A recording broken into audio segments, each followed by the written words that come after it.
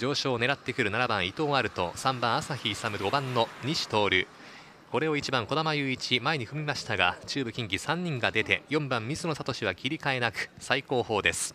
3対47番伊藤アルト先頭。3番朝日勇2番手。3番手5番西徹。金が入りました。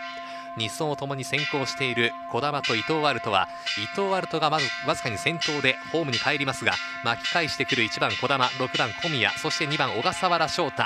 小笠原が外れ外れかけていまして3番手か7番伊藤アルト残り1周の攻防。しかし追い上げて2番小笠原翔太。最強勢へと再びドッキングです。切り替えて3番朝日勇が4番手から前を追ってきた。先頭は1番児玉雄一。後ろは6番小宮武3番手踏み込んでくる2番小笠原翔太と内は3番の朝日勇直線に向きました。特選メンバーの1062番小笠原翔太。突き抜けて合輪2着6番小宮武。1番児玉雄一。残して3着か。